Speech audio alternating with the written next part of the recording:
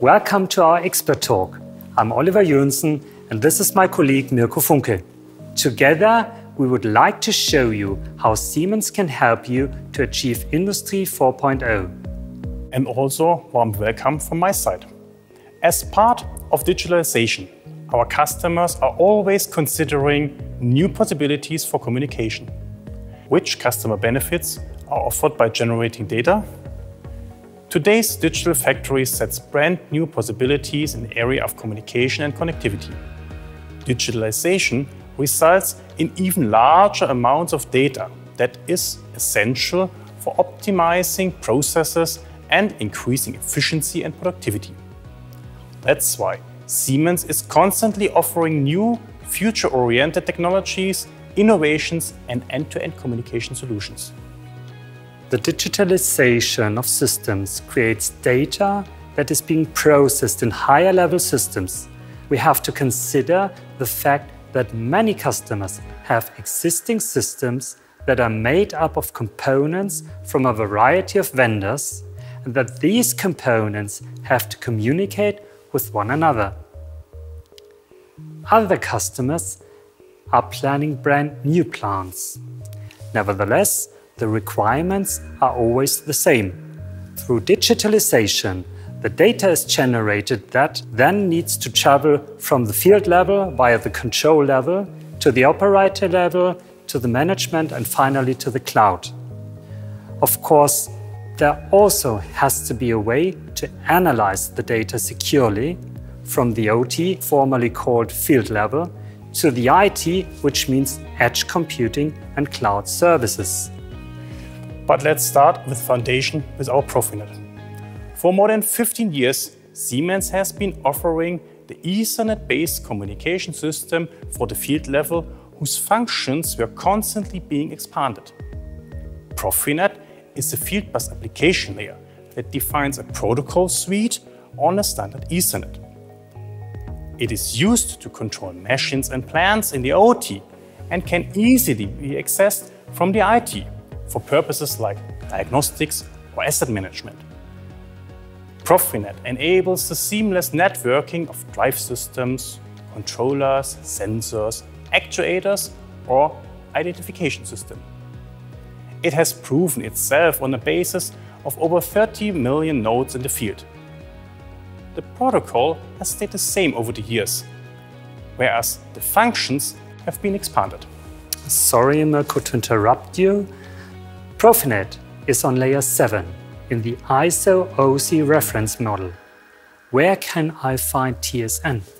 Well, the introduction of TSN itself won't change anything about Profinet because TSN operates here on layer 2 of the ISO OSI reference model. This means we are enhancing the network layer and we are gaining a standard Ethernet from the year 2020 that offers new functionalities like robustness, plug and work, or a broad cross-manufacture foundation of Ethernet chips. Profinet itself, based on our layer 7, remains constant on the application layer because TSN alone is unable to transport data or parameterize field devices. These functions continue to require a field bus application layer like Profinet is. This makes Profinet the optimal solution yesterday, today and tomorrow. Programming and diagnostics stay the same for both users and machine builders. TSN expands the network's functionality. How can we demonstrate the benefit of TSN in this process? Well, let's take a simple showcase, which we have been always be able to solve with Profinet. Thanks to the real-time capability, we are able to synchronize nodes with an accuracy under microseconds in an line deep of 100 devices. It is capable, for instance, to synchronize axes. Let's assume that we have here two axes in our system, and they are needed to synchronize on a workpiece. Here in our graphic, two motors are being driven to rotate these two disks. They are moving too fast for the human eye to detect whether they are synchronized or not. To show this, another technology called CAMS. Now, when the axes reach a specific position, a stroboscope flash is fired and telling us which letters are joined together on the disks. An important feature of Profinet over TSN is the robustness of the network. We can demonstrate it very easily simply by connecting an additional camera to the network that transmits the image data to a monitor. Even if we activate the network load generator, the system is still unaffected. All that happens is that the camera image is frozen by the additional network load. In contrast to today, another bonus with our Profinet over TSN is the use of scaled bandwidth. With Profinet over RT or IRT, only 100 megabits per second were possible. Yeah, and with Profinet over TSN, the bandwidth is now scaled from 10 megabit up to 10 gigabit. The initial prototypes of Siemens work with a line speed of 1 gigabit per second. The creation of larger data highways naturally permits entirely different amounts of data, which also means more services. Yeah, but that's not all. With Profinet over TSN, we can also introduce new meshing concepts. We call this the plug and work feature. This means that we can add or remove machines from our network anywhere. The interrupted line is being restored. What's so great is that the network now recovers on its own because the configuration takes place in the TSN network and not even more in the engineering system. Formally, in cases like this, the entire network first has to be shut down and the production briefly stopped. Fantastic. This new TSN feature now makes it possible to build modular machines and add or remove machine modules during runtime that can even be embedded in synchronous operation. This has many obvious advantages. Mirko, migration is a very important topic as we have already over 30 million nodes in the field. How can they be used in a TSN network? That's an interesting aspect, Oliver. It was a core requirement of TSN. Profinet over TSN is also possible to seamlessly connect today's devices into the network. This means that legacy devices and new devices, new TSN devices, can be operated together in the same network. Profinet over TSN has many advantages. But how can we actually communicate with additional PLCs or machines? Besides Profinet over TSN, there's a way to transmit even more information in the same network, even via the same cable. OPC provides production data, including additional information for further processing. For machine builders, this means real-time, manufacturer-independent interconnection of controllers using OPC over TSN. To effectively engineer OPC UA, Siemens maps production data onto the OPC data model via SiOME, Siemens OPC UA modeling editor.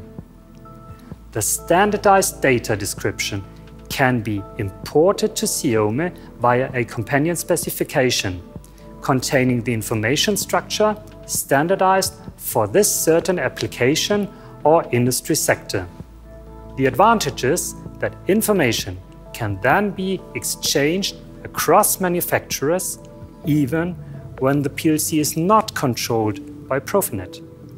You can see in this example of a robot from a third-party vendor. But when it comes to robots, safety is really important. Yeah, Oliver, that's right, of course. One of the most important aspects at all is safety.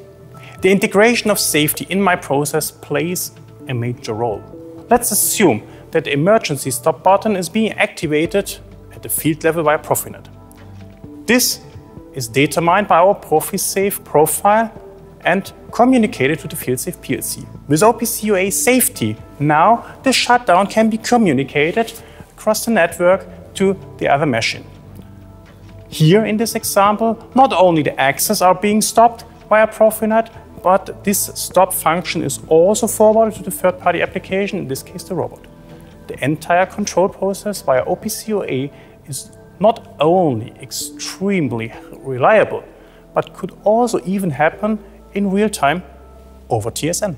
And with OPC you can realize a standard vertical integration from the OT, the field level, up to IT in edge or cloud systems.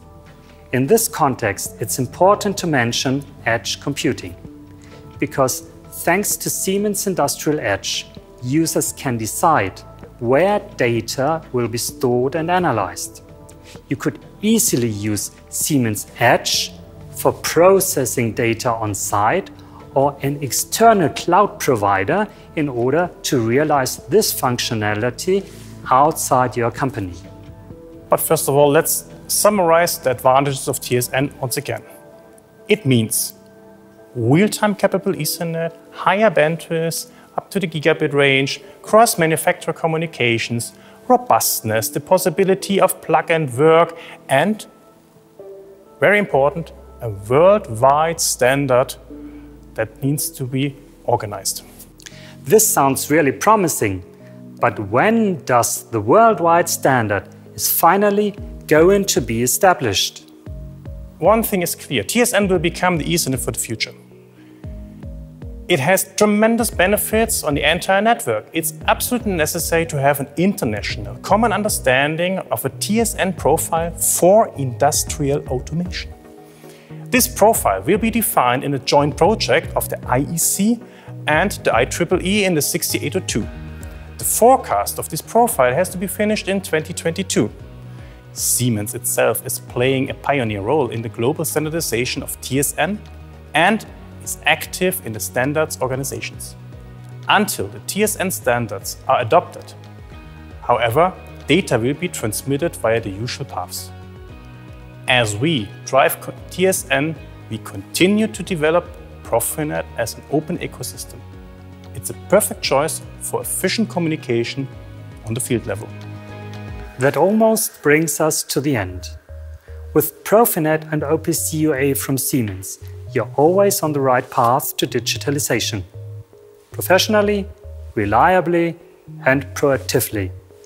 Today's Profinet applications will still be able to communicate on TSN-capable networks.